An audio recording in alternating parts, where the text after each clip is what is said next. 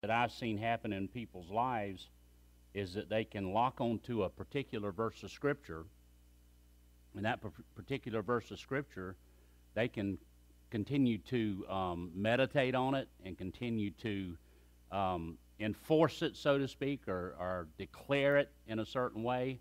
And they will walk in victories like nothing you've ever seen before because they get a revelation on one scripture. Everybody say one scripture. And I'm telling you right now, one thing can make a difference in your life. You know, one of, one of the verses of Scripture that I've been standing on, we're going to study tonight a little bit, um, you know, since I've been here, and I still declare it over myself. I have it, I have it, um, you know, written down. I have, you know, every time I talk to people, I mean, I bring it up, and I don't want us to turn there, but you know, we ended up last week on Isaiah 59:19, and it says, "So shall they fear the name of the Lord from the west, and His glory from the rising of the sun." When the enemy comes in, like a flood, the Spirit of the Lord will lift up a standard against him.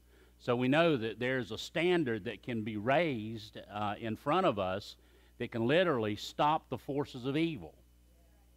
And this is why, you know, can I make a declaration here tonight, y'all? This is why I don't live in fear of a coronavirus. Do you understand? I, I understand it's being sold. I understand there's a lot of hype and there's a lot of things going on.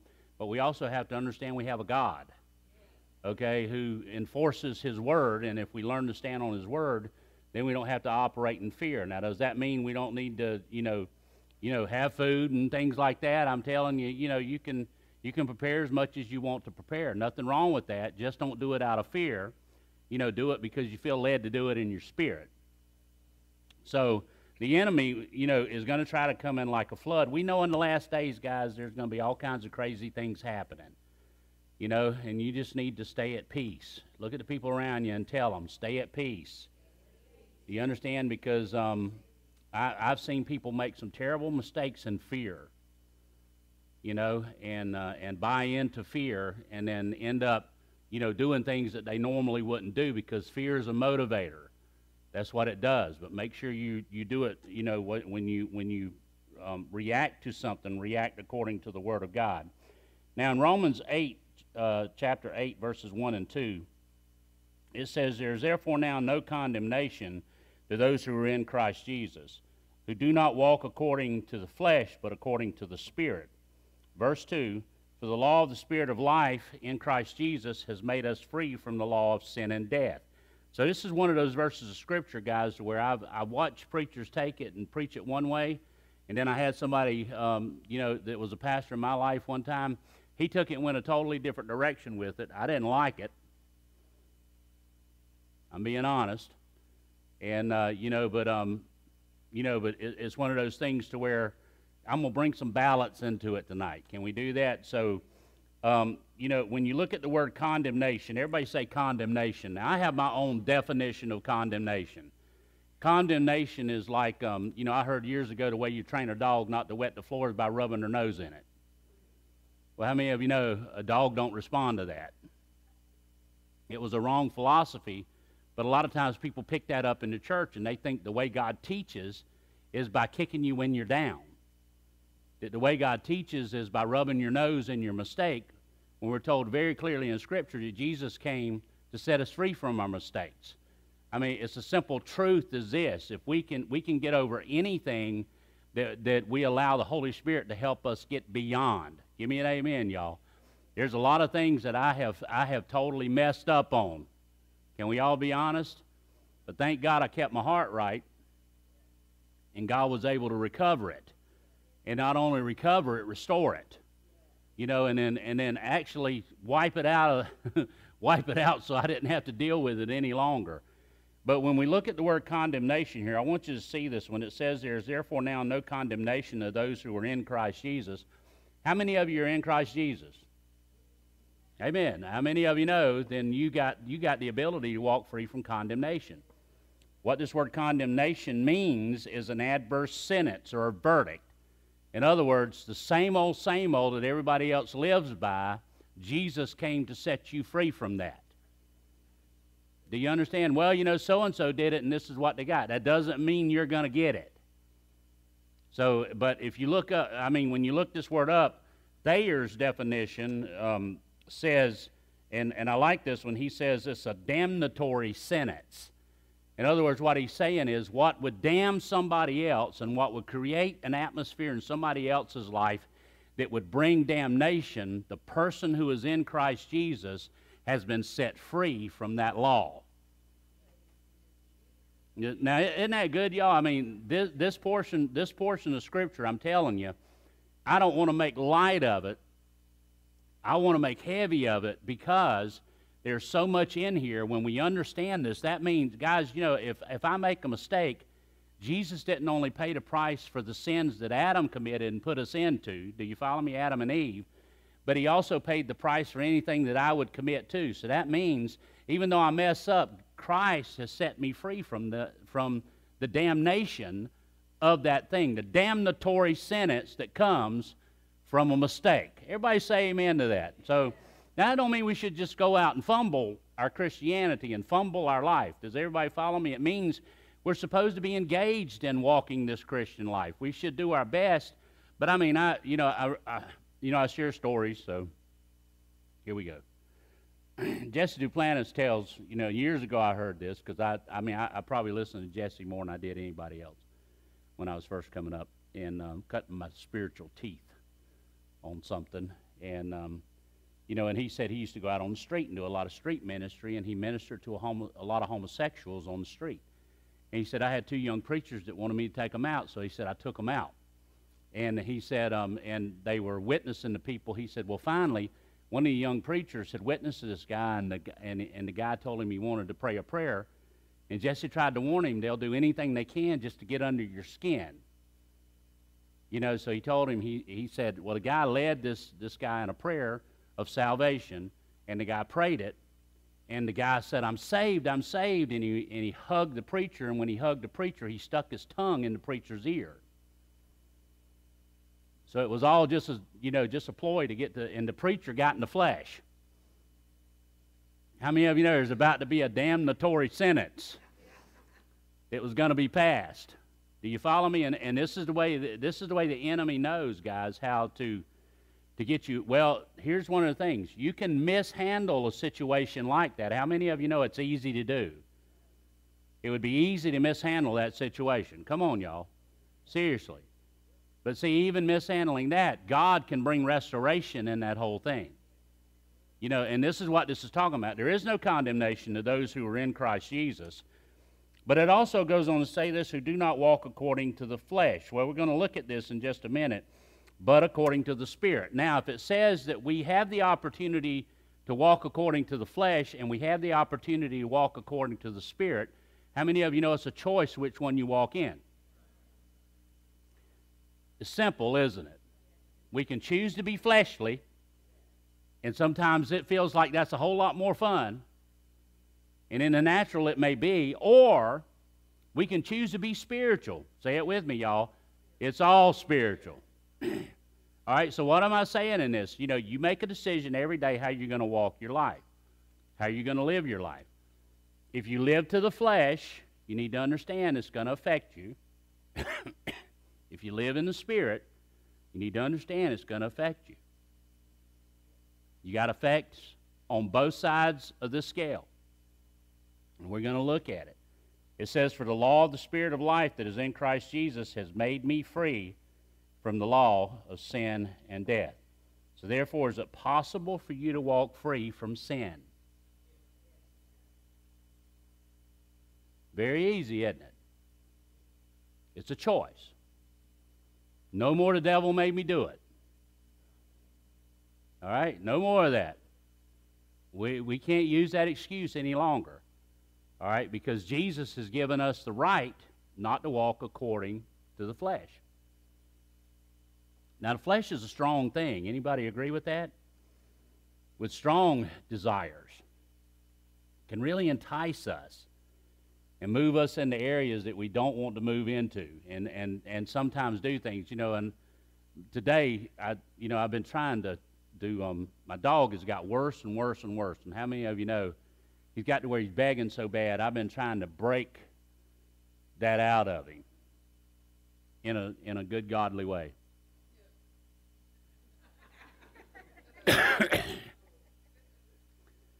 So today I'm sitting down and I'm having a little bit of lunch, and he he gets so into me eating to where he finally he can't stand it. His mouth just follows the food. He's fleshly. Come on, y'all. Amen. Say it with me, y'all. He's fleshly. So I told him, I said, Oreo, I'm going to have leftovers. You need to get on the couch. And I, t- you know, normally when I tell him to get on the couch, he gets on the couch. But today, he just was in a rebellious mode. And he went over, now this is the truth, guys, laid his head, put, walked up to the couch, bumped it with his chest, laid his head on the couch, and looked at me. And I told him, get on the couch. And he would not get on that couch. So I told him, no food if you don't get on the couch. Then he backed off the couch and sat on the floor and looked away from me. Now, y'all, how do dogs, they get it from Pam? No, they don't. I'm just joking, y'all. I'm just joking. How do dogs develop this? Do you realize this is a spirit of rebellion, is what it is? They are totally natural creatures. Come on, y'all. This is this is how it is. so, I, I, finally I finished eating. I had leftovers, and I told him I said, "You're not getting them until you get on the couch." Well, you know, I got up, and when I got up, he started walking toward the couch. I didn't kick him. I just tapped him in the butt, and he jumped on the couch, and I made him sit there for 15 minutes. All right, and then he was able to get the food. But whether it works or not, we'll find out tomorrow. To be continued. Here's the thing, guys our flesh wants to do what our flesh wants to do, and it desires to have its own mind and will. All right, and when we walk in the Spirit, we shut that side of our lives down, and that's why our flesh rebels so much. Our flesh does not like to be controlled.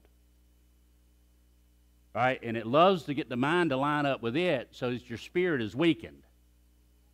But there's a law of sin. Everybody say sin. We don't hear this preached a lot in church. You need to understand there is a law of sin, and that, that can separate us from God if we let it go too far in our lives. But there's also a law of the Spirit of life that is in Christ Jesus. Say amen to that, y'all. How many of you know there's a law of Spirit of life that we can live in that sets us free from the law of sin and death? Now, look at this and um, it, li- listen to it in the message translation. With the arrival of Jesus, the Messiah, that fateful dilemma is resolved. Isn't that good, y'all? Those who enter into Christ being here for us no longer have to live under a continuous, low lying black cloud. A new power is in operation. Will you say that with me? A new power is in operation. Can we do it one more time? A new power is in operation. Well, what is that new power, guys? If there's a new power in operation, then I want that power operating in my life so that I don't give in to these little things anymore. You know, one of, I usually don't make New Year's resolutions because that way you don't have to worry about breaking them. All right, but this year I made, I made a New Year's resolution that I was going to try to handle traffic better. And so far I'm about 50 50 on it. But that's better than not trying at all. Do you follow me? You, you have to make these steps and things in your lives. You know, if I ask you the question right now, how many of you have things in your life that try to conquer you on a daily basis? I bet every hand would go up. You know, because we do. We deal with things on whether it be a husband, whether it be a wife, whether it be kids, whether it be a job. I mean, it could be church, it could be people in church. I mean, it can be all kinds of stuff that can come against you. Well, we no longer live under a continuous low lying black cloud. Listen to this a new power is in operation. The Spirit of life in Christ, like a strong wind, has magnificently char- or cleared the air. Now, listen to this freeing you from a fated lifetime of brutal tyranny at the hands of sin and death. So, in other words, God has freed us. Everybody say it with me I am free. So, remember this condemnation means it is a verdict that has been passed. Okay, it's a damnatory sentence that wants to grab you. Listen, y'all, the world has no hope. How many of you how many of you have realized this? They're saying right now that um, there are countries right now, where did I hear? Was it South Korea? I think it is South Korea right now. They got one area that is completely shut down right now because they're trying to control this virus.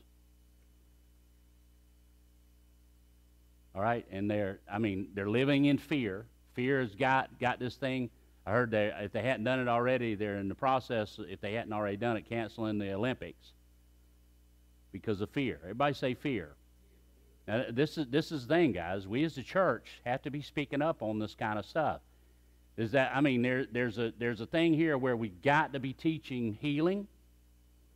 Come on, y'all, and walking in freedom walking out of some of this stuff. So, there's, when we talk about the law of the Spirit of life that is in Christ Jesus, I need you to understand something. A lot of people think law is power, and law is not power.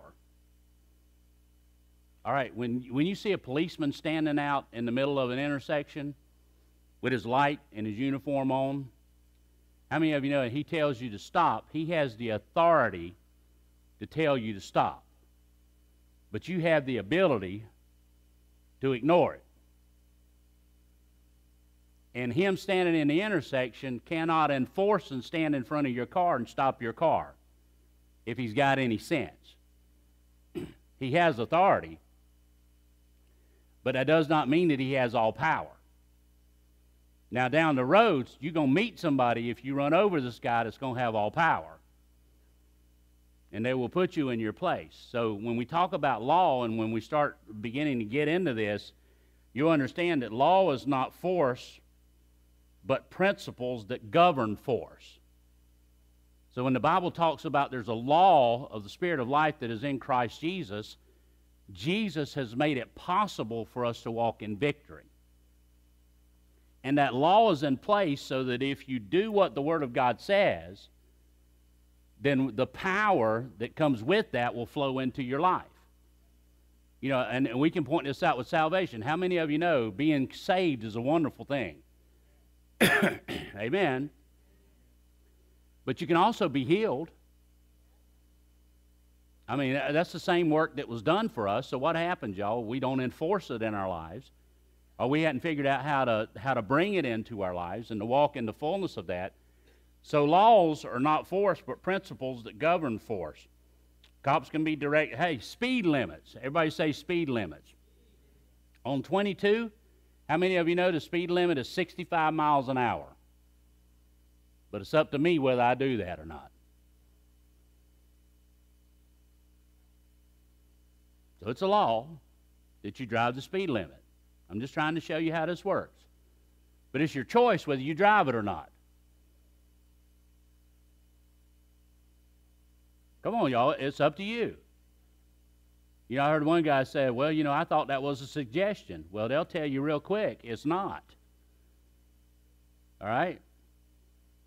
Now, I usually go five mile an hour over and never have had any problem, but I can't tell you how many times, excuse me, Pam and I have been driving, and I'll, I'll set my cruise at five mile an hour over, and somebody will come me doing 30 mile an hour over, and I'll look at Pam and go, they better hope a cop's not up there. And before long, we'll see blue lights flashing. Now, how many of you know they made a choice, didn't operate according to the law? Y'all with me? And it's going to pay the price for it. All right, so there's, there's laws in place, and you got to understand this, and this is what governs the power of God. Let me look at it a different way because I read this one day and I found it real interesting. How many of you know there's a law of gravity in place? If you don't believe it, stand up and do some rapture practice right now. Jump as high as you can.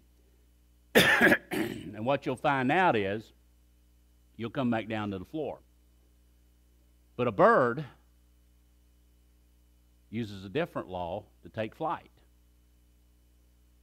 Now, gravity is still in place, but a bird is built to fly. Y'all with me? But how many of you know so will a balloon? But it's built totally different than a bird. A bird can fly because it knows how to get beyond gravity and use air to lift itself. But a balloon has to have something in it to help it lift itself. It's called helium.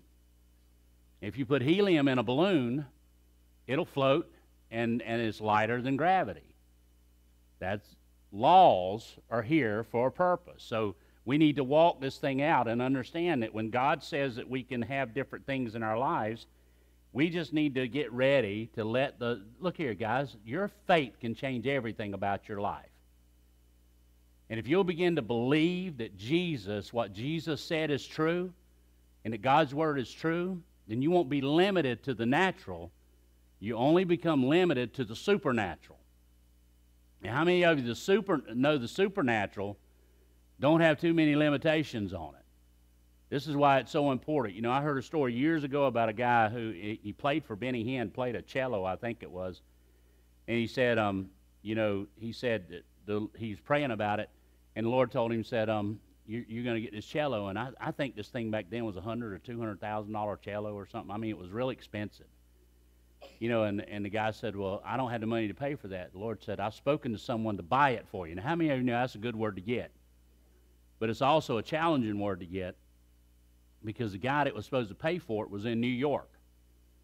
So he had to call a guy, and he told this businessman, he said, uh, the Lord told me you're going to buy me a cello. And the guy just really gave him a hard time. Well, finally, he, he said, I'm going to fly you up here and hear you play. And he said, Well, I need, a, I need a ticket for me and a ticket for the cello. I can't put it under there because it's a 100,000 or $200,000 cello. And so the guy ended up buying him two tickets so he could, he could fly up there. And when he got there, he started playing. Long story short, he started playing the cello or whatever, you know, the instrument. And the guy screamed and told him to stop. It was the worst thing. He, he said, I can't stand it. I can't stand it. And he said, the guy was, he said, I was, I was sitting there, he said, because I knew God had given me the word. Everybody say the word. But man, how many of you know stepping that word out challenges you? So he said he's, he's sitting there, and, and this guy is hating everything about it. And finally, he said the Holy Spirit whispered to him and told him, said, begin to pluck it. Instead of playing it, he started doom, doom, doom, doom, just plucking it. And the man started dancing around ended up buying him the cello.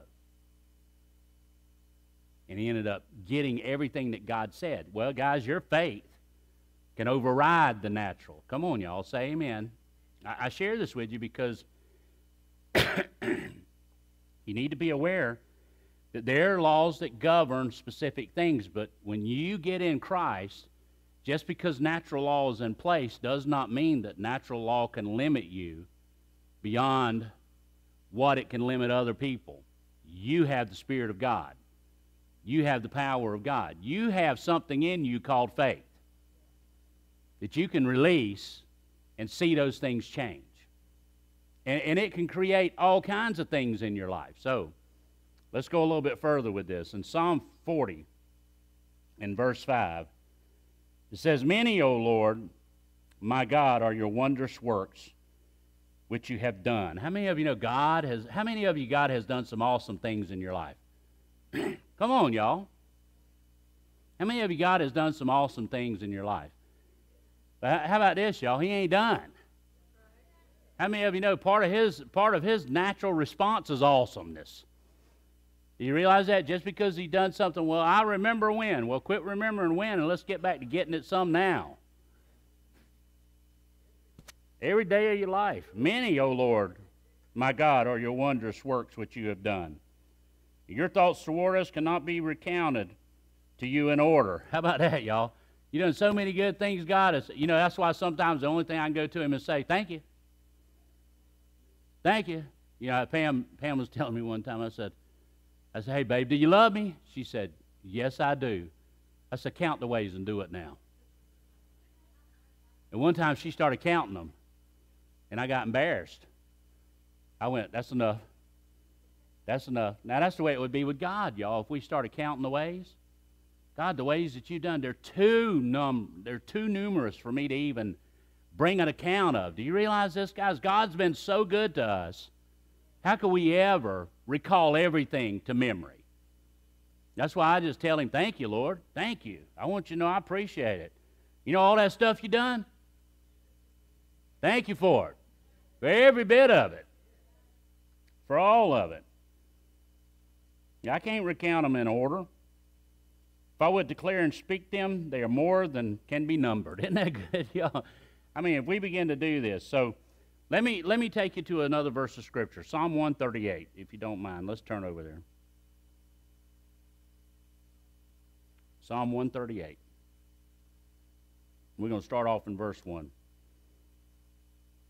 There's a law in place, guys, and this is the thing. Whenever we start operating according to the law of the Spirit of life that is in Christ Jesus, we have an opportunity to step out of the natural into the supernatural and see supernatural stuff just work over and over again. I, have I've, um, I've seen the law of the natural take place in my life, and what I mean by that is, um, you know, there, there was one time I went into a, a city council meeting, not here, it was in West Virginia and I was trying to get sewage, um, you know, city sewage down to our property.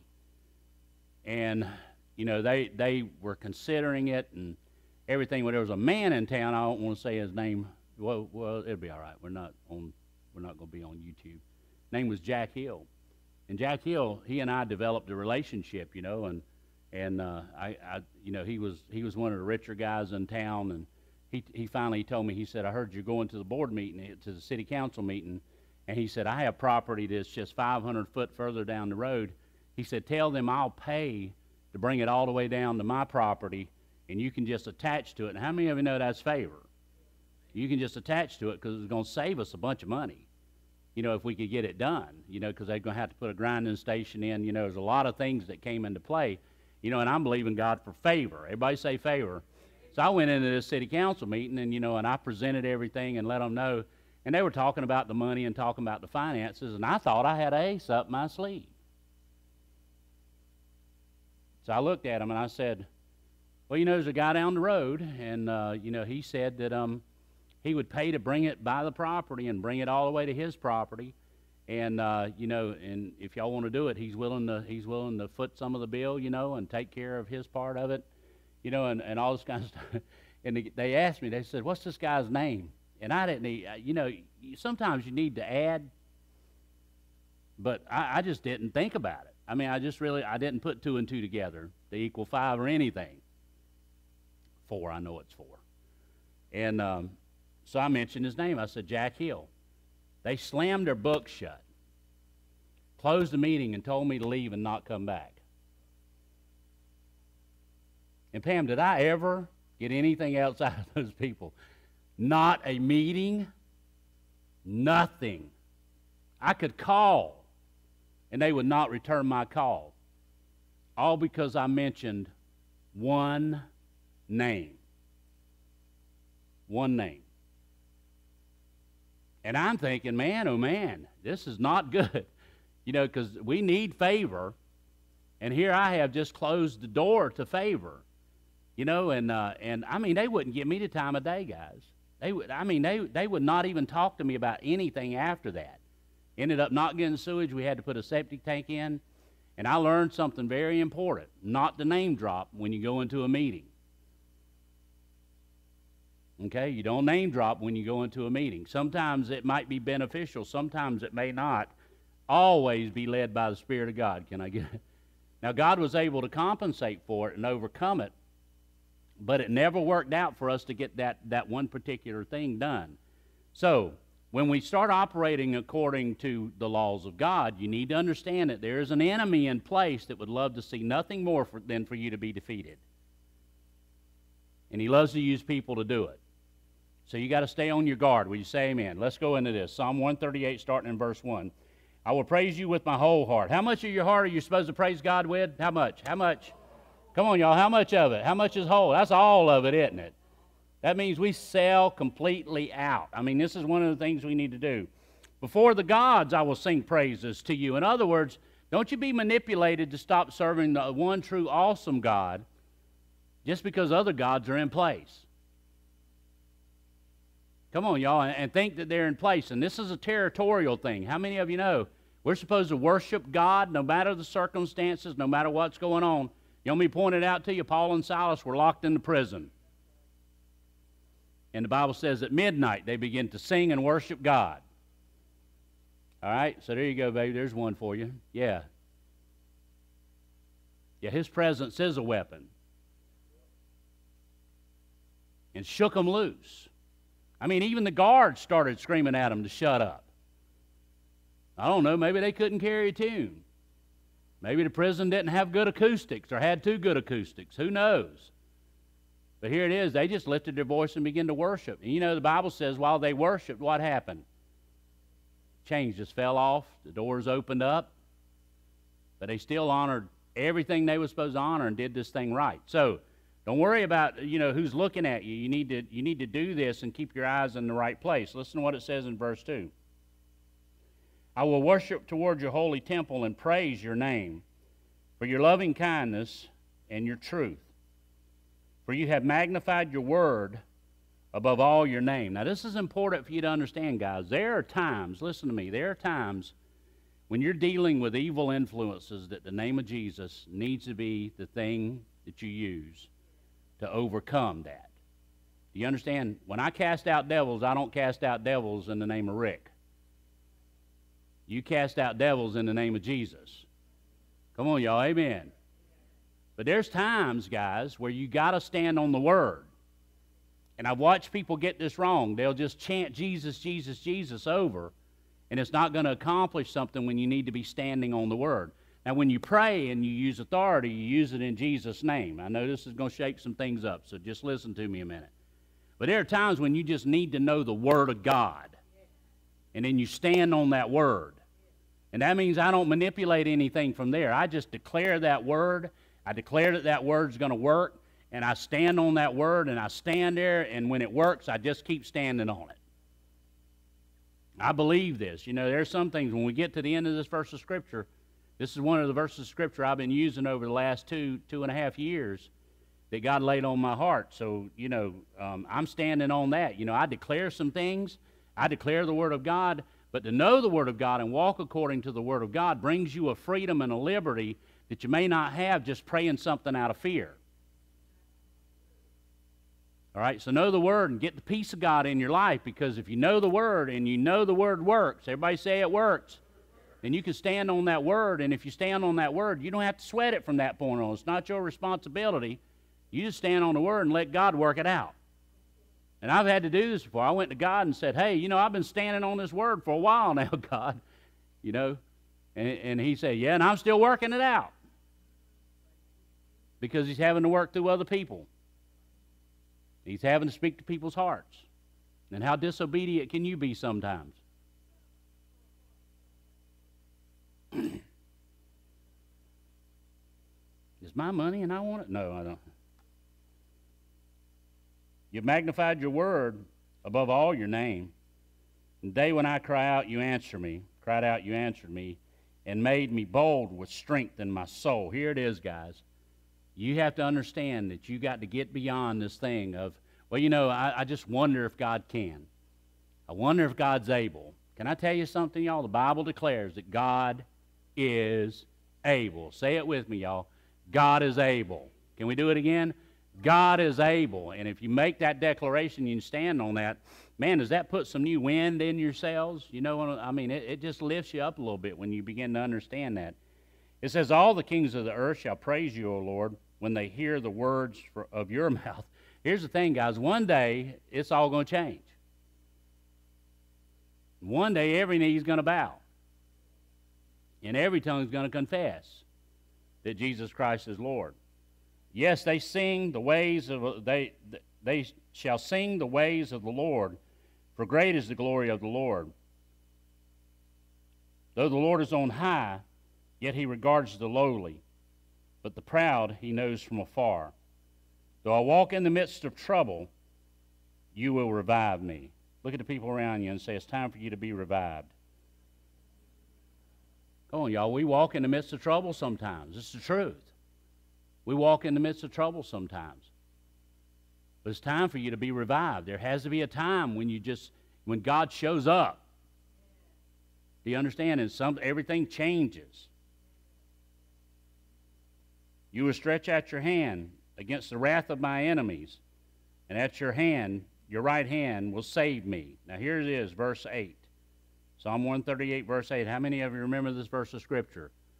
This is one that I, I quoted almost daily. The Lord will perfect that which concerns me. Everybody say it with me. The Lord will perfect that which concerns me. Remember, I preached this and I said, concerneth? The Lord will perfect that that concerneth me. In other words, whatever concerns me, God's going to work it out for my good.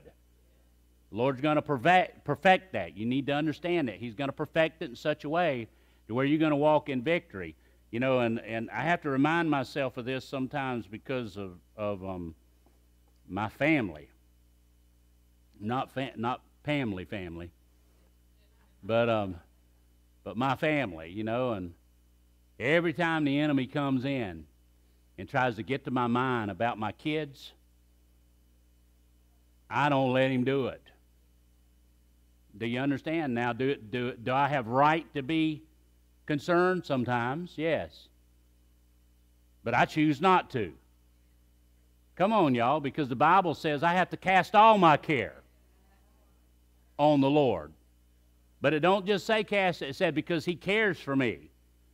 Do you understand? So I got to cast my care on the Lord. I mean, this is one of those things, you know, I just have to I just have to look at situations sometimes and say, "You know what, God, you're big enough to handle it." I just got to Say, have at it. Just have at it. The Lord will perfect that which concerns me. Your mercy, O Lord, endures forever. Do not forsake the works of your hands. Will you say amen to that? The Lord perfects all that concerns. So when we look at this and we see it, we, we go back and we go, God, you know, I, I behold everything that you've done. I see all that you've done. And therefore, that makes it so, guys, I'm not left out here just serving without any purpose. I'm not serving without someone who responds to me. Do you understand? When I worship, my worship is not in vain. Because I know God receives my worship. Well, I don't feel like He does. Well, quit worshiping according to your feelings. Worship according to your faith. Do you follow me? God says He'll hear you. Well, I just don't feel like he does, so shut up and do it anyway. Come on, y'all, just do it because God says he'll hear you. How can you worship and God not hear you? God, I'm tired today, Rick. I'm just too tired to listen, Rick. Yeah, I've been dealing with Miss Barbara all day long. what if God responded to us like we respond to people? I don't want to. I, I, I just right. Right now, I don't want to minister to nobody else, Rick, all right? Give me a break and let me have a cup of coffee. That's not the way God is, guys. Come on, y'all think about it. And this is the way we think sometimes. I mean, I actually I asked somebody here, and it's been a while back. I asked them. I said they were telling me about some things going on. It happened here, so you know if if you're here, I'm sorry. But anyway, I, I told them. I said, well, did you pray about it? Well, I just don't think I'll bother God. You got, really and truly, you think you can bother God? I mean, uh, I mean, I mean, this is crazy. Now, how many of you watch Bruce Almighty? You ever see Bruce Almighty? And some people don't watch it because they they they think it's sacrilegious. But I think it points some good things out. You know, where you know why God don't. You know, you know, when when Bruce he starts hearing all the prayer, prayers of everybody, and he tries to figure out how to work it out and he says sticky notes. Let's put them all on sticky notes. And all of a sudden you hear the sound of it. Sticky notes are everywhere, on him and everywhere. You know, and more coming in. Well, then, you know, he does filing cabinets and you can't even move. Filing cabinets. Well, finally, he puts them on a computer and it starts, and I forget how many millions and millions of prayer requests he gets. So he answers them all yes. Boy, that worked out good for him. Well, this is the thing, guys. God's got time for you. Man, he don't, he's not like man. He don't tire. And he cares. And that's the only reason why I shared that. You need to understand. Don't be afraid to go to God. You're not going to jerk him off his throne with your problem. You're not going to be so big and burdensome to cause him to crash and burn. Can I say it this way? God can handle you. Let Him. Amen. Take it to Him. Let Him.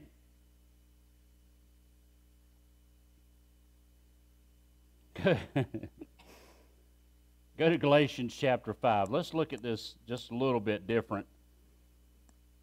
We're talking about steadying your stance, and I titled tonight, I'm in a relationship with salvation. And the reason why I did that is because sometimes we get, we get busy doing everything other than what God told us to do. It's just so, it's so time, y'all, for the church to get back in charge and get God right in the right place that He's supposed to be. Because uh, you know what? I can figure a lot of things out on my own. How many of you know? Man, you give me you give me an opportunity, I can figure something out. Crazy glue and duct tape, you can fix a lot. Do you understand? You can fix a lot. We can figure out how to put something back together. But that doesn't mean it's back together right. And I've seen God do some awesome things in people's lives. I mean, I, I could share stories with you in relationships where God has totally, I mean, healed relationships that should have never been put back together. In the natural, it looked impossible. There, I mean, I was in one counseling, this has been years and years ago, in one counseling session. Uh, should I do that one or not? Where um, yeah, I won't I won't go into details, but anyway, it was just you know, the marriage was breaking down and I met with them and I started talking to them and then some things were exposed and I asked them the question. I said, you know, guys, let me tell you something. I said, God wants you to be healed. Come on, how many of you know this? God wants relationships restored. It's not a question of if he does. We know he does. The question is, and this is what I asked them, do you want it restored? And I looked at each one of them and I said, I looked at her first. I said, Do you want this thing fixed? Do you still love this man? Come on, y'all. That's an important question, isn't it? Because that's, that's a foundational thing. And she looked at me and she had every right to say no. Do y'all follow me? But she said, I love him. Yes, I want it to work. Now looked at him and asked him the same question. Do you want this to work? Do you want this, this lady in your life? Yes, I do. I watched God put that thing back together stronger than it had ever been before. All right, because God knows how to fix you if you'll let Him do it. Listen to what it says in Galatians 5. We're going to start off in verse 1.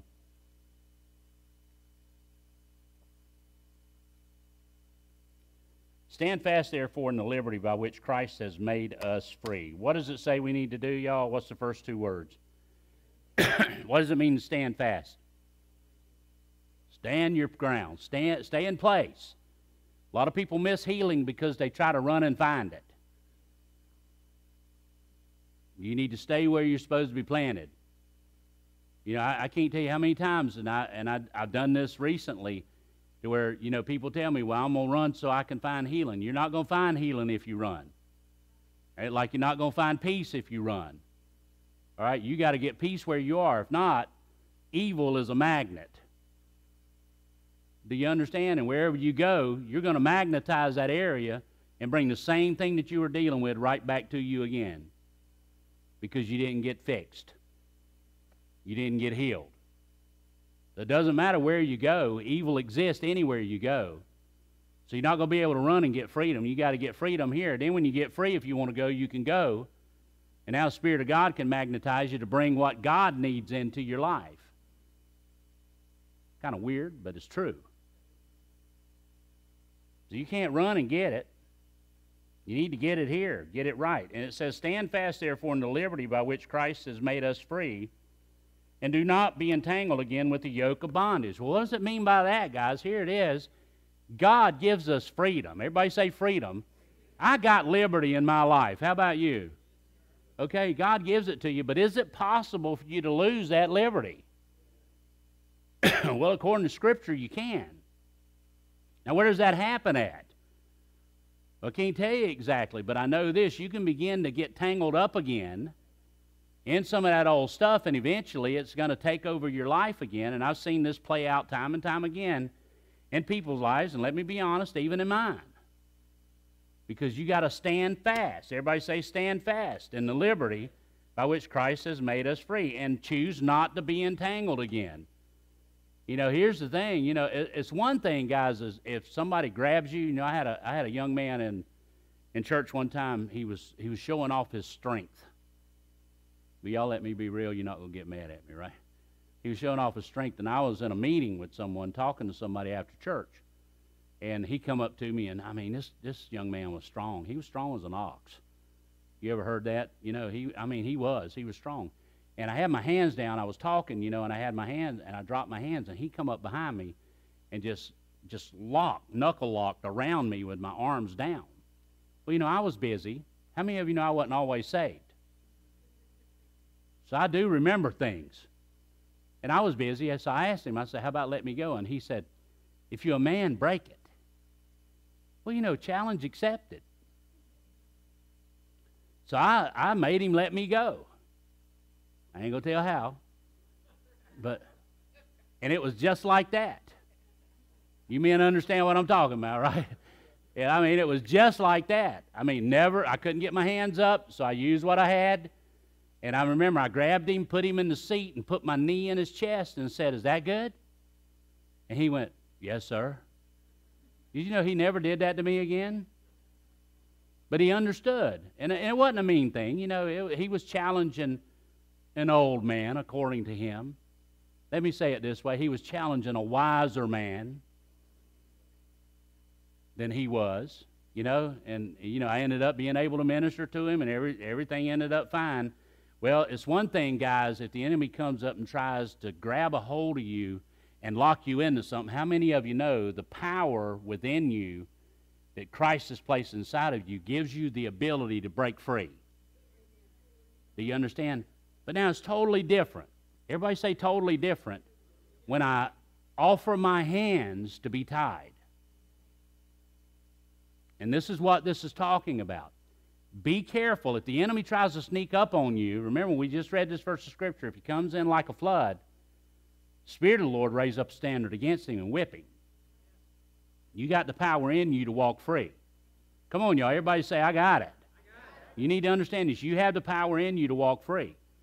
But if you issue your hands to be tied, then it's a different story because you have surrendered to the tying process. All right. So that's a little bit different. So you need to understand that's going to be handled different. Listen to what it says stand fast. This is why the word tells us stand fast in the liberty which Christ has made us free, and do not be entangled again with the yoke of bondage. Listen to verse 2. Indeed, I, Paul, say to you that if you, if you, if you become circumcised, Christ will profit you nothing. And I testify again to every man who becomes circumcised that he is a debtor to keep the whole law. Well, what they were struggling here was was following the law. They were following, they were trying to work it out in such a way to where it would all just fit with everything else they were doing. How many of you know God don't fit in with everything else? Come on, y'all. Jesus broke the box. Do you understand? He broke the religion box. And this is what a lot of people, ooh, as I heard somebody say, if Jesus showed up today in most churches, they'd ask him to leave because they wouldn't be able to accept him how he is because he is not what most religions say he is.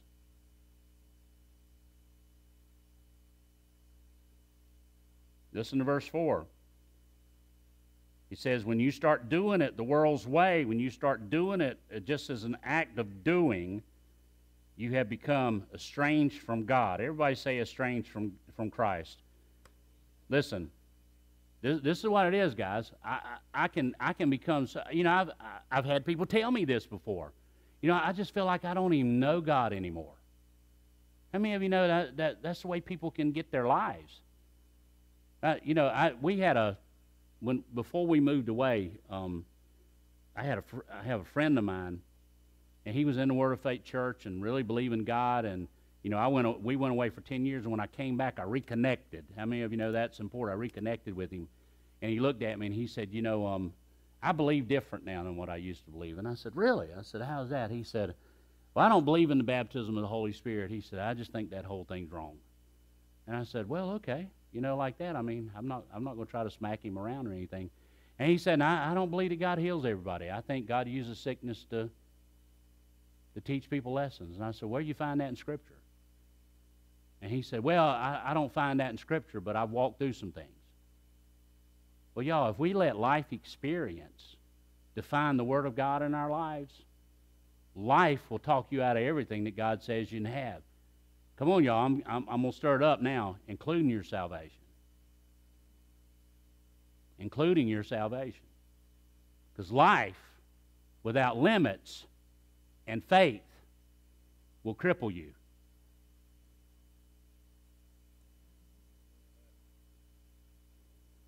He says this You become estranged from Christ, you who tempted to be justified by law. You have fallen from grace. Everybody, everybody say that with me fallen from grace. That means grace wasn't taken away. That just means they stopped applying it. I mean, it's simple, isn't it? They just stopped applying it. It's, it's just, it's really simple, you know? And, and this is what it says in verse 5 for though we through the Spirit eagerly wait for the hope of righteousness by faith, for in Christ Jesus neither circumcision or uncircumcision, uh, uncircumcision availeth anything. In other words, works is not what gets you there. Does everybody follow me? Faith is what gets you there. Listen to what verse 7 says. You ran well. Everybody say it with me. You ran. Listen to it. Who hindered you from obeying the truth? So something happened to stop their running. What happened is they started walking. They lost their excitement. Come on, y'all. They let somebody come in and teach something totally different and, and th- from the Word and took their excitement away in the Word of God. And now all of a sudden they're not running with the things of God. Now they just started getting a little wore out. You know, it's, it's kind of like um, I took a test one time, you know, and my goal whenever I take tests is to try to do the best that I can do. How many of you are with me? And I hate not doing my best. But I took this test one time to sell insurance, and, and when I took the test, I finished it, and the, the girl looked at me and she said, You passed. And I went, Okay, what was my score? Come on, y'all, what was my grade? And she said, doesn't matter. You passed. And I said, Does matter. What was my score? What was my grade? She said, We don't give out grades, we just give out passing or failing. Well, y'all want more than that. Do you understand? I, I just, in my life, as, as far as being a Christian, I don't want to make it in by the skin of my teeth. Does everybody follow me? I want to make it in going 100%. You know what was the one preacher I heard? He said when he gets to heaven, he wants to hear um, well done, not medium rare. Think about that, guys. When I get to heaven, I want to hear well done, not medium rare. Think about it, y'all. Run your race. God gave you the ability to overcome and do it in high fashion. You need to do it. Listen, you ran well. Who hindered you from obeying truth? And it says, This persuasion does not come from him who calls you. And then he goes on with verse 9. He says, A little leaven leavens the whole lump. Well, you know, the simple truth of the matter is, if we'll learn to kill things when they're little in our lives, how many of you know it'll stop it from getting big? Because the bigger, the harder it is to deal with. If you can catch it immediately and let the Holy Spirit lead you in the right way, I mean, there, there's times in my life, guys, to where you know, uh, you know, I've had a wrong response. Anybody ever responded wrong to somebody? Don't look at me all holy, y'all. I know we do. You just respond wrong. But if you'll catch that thing immediately, how many of you know and say, "Hey, man, I just missed it." How many of you know you I mean it's a whole lot easier to clean up then than it is 10 years later or 5 years later. So, you know, and the Bible calls that little foxes that spoil the vine. In other words, these little things in our lives can cause the biggest problems sometimes. Listen to what it says in verse 10. I'm going to try to finish this tonight. I have confidence in you, in the Lord, that you will have no other mind but he who troubles you shall bear his judgment, whoever he is. And I, brethren, if I still preach circumcision, why do you, why do you still suffer persecution? Then the offense of the cross has ceased. I could wish that those who trouble you would even cut themselves off. So, this is what happens eventually, if you're not careful, you end up closing the door on yourself. You know, have you ever slammed your own finger in the door?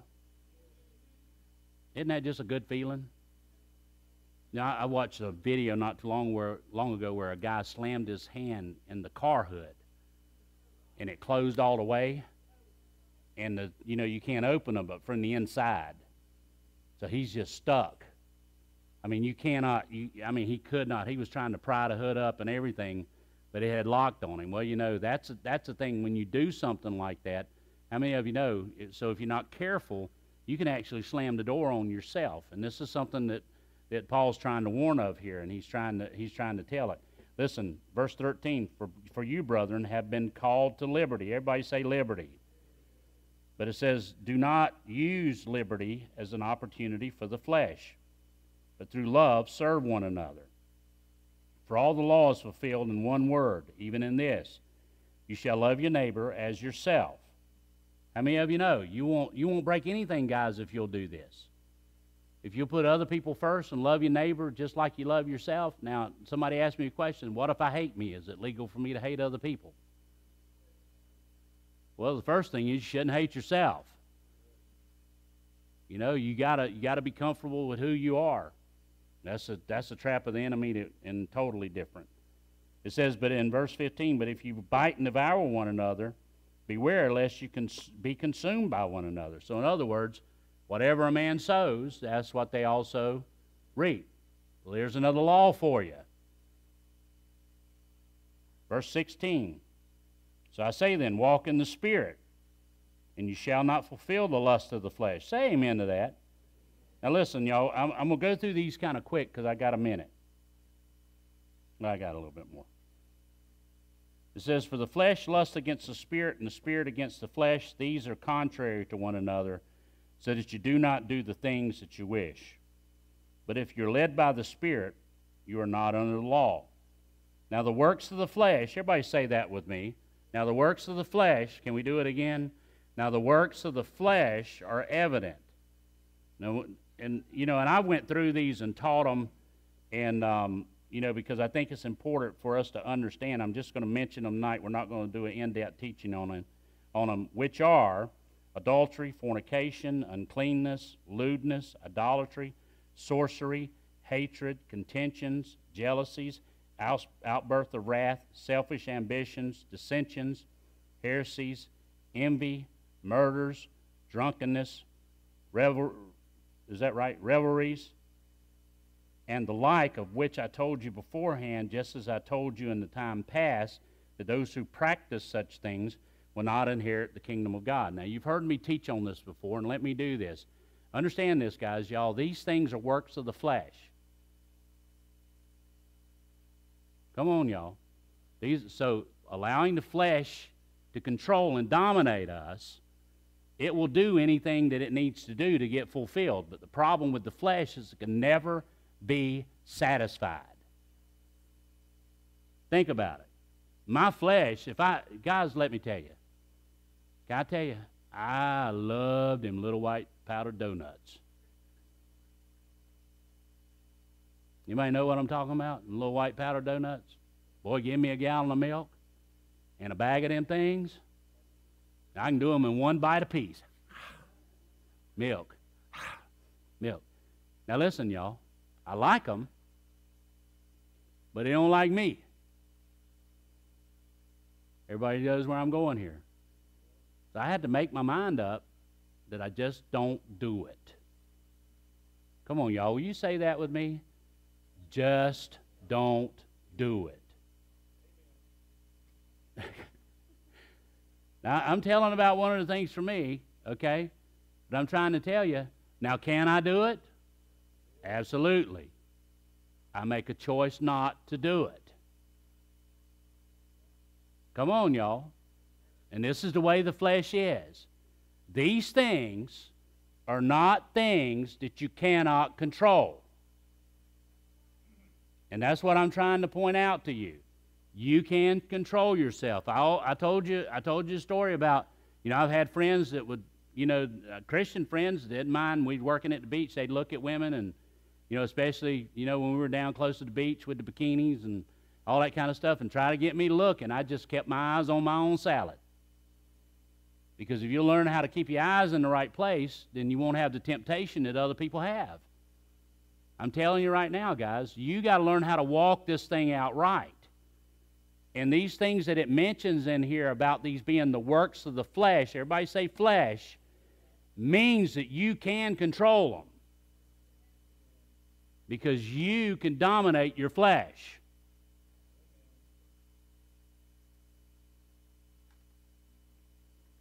But then it talks about if you practice these things, you got to understand sometimes what ends up happening is some of this stuff will take us away from God. And it'll stop heaven from flowing into us. Anyway, say amen. You need to read those, you know, and, and go through them. I, I challenge you, if you'll do this, guys, and do it with the right, understand these things are works of the flesh. If you control the flesh, then you control these things. Amen, anyhow. All right, listen to what it says in verse 22. But the fruit of the Spirit is love. Everybody say love. Listen to this joy, peace, long suffering, kindness, goodness, faithfulness, and gentleness and self control. Everybody say self control. How many of you know self control? If you turn around, it means controlling yourself. And I'm telling you right now, we need more of it preached in church. Control thyself. Quit praying for God to do it all and get some guts about you and control yourself. Take those channels off the TV. It create problems for you. Amen. You know, put some checks and balances in your life. Oh, I'm getting in trouble now. I better go on. Self control and handling. Against such there is no law. Verse 24. And those who are Christ have crucified the flesh. Everybody say amen. Listen to this, y'all. We crucify that. What does it mean to crucify the flesh?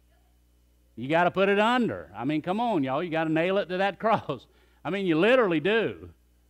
You know, if you want to control it. Now, this means, you know, did you know, you know, I, I um, I, I, I know I've shared this with you, but I have to control my anger. I, I tend to be an angry person. Now, y'all wouldn't know that since I'm such an angel up here in front of church. But I, my wife can tell you, she can tell exactly when I start letting little things get under my skin because little things cause big reactions. And if little things, if I don't control this, then I'll start, I'll fly off the handle. Oh, come on. I will. So I have this book of promises I go through and I read scriptures on anger. Do it several times a year. Now I got it on my iPad now, so I do it several times a year. And every time I start applying scriptures in my life, my anger level comes down. But if I don't practice self control, my anger level goes up. Come on, y'all. We got one honest one in here right now. Well, two with me. You understand what I'm saying? But, but the way you handle it, here you go, guys, is by operating in some self control. And use Scripture to bring that into place shackle that old man up. Our old, not your husbands. Shackle that old lady up, not your wives. Bring it, you got to nail some of this stuff and get it fixed in your life, guys, because I'm telling you right now, it'll take you places that you can't figure out how to get out of without the help of God. Thank God He helps us. Will you say amen to that? I'm going to read 24 again, and then I'm going to close it out here in 25 and 26 says, Those who are Christ have crucified the flesh with its passions and desires. If we live in the Spirit, everybody say, I live in the Spirit. Let us also walk in the Spirit. Say it with me. I can and I will walk in the Spirit. So here's the thing, guys Christ has set us free from the law of sin and death, but it's our job to walk in that freedom, to walk in the law of the Spirit of life that is in Christ Jesus has set me free from the law of sin and death. Come on, y'all. But it's my job to walk in it.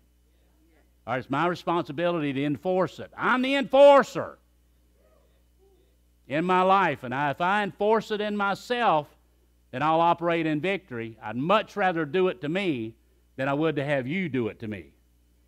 Does everybody follow me? I, I mean, if I can gain the control and gain the, the ability to control it on my own, I don't have to worry about the prophets coming in and read my mail to everybody.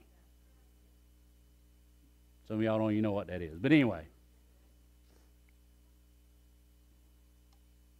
So if we live in the Spirit, let us also walk in the Spirit. And verse 26 says, Let us not become conceited, provoking one another, envying one another. How many of you know it's important that we stable our stance? Stabilizing your stance means that you get yourself under control so that when those things come against you, you got firm ground to stand on. A person who knows who they are in Christ can stand against anything that comes against them. Come on, y'all. Because we'll close it out this way Greater is He who is in you than He that's in the world. We do play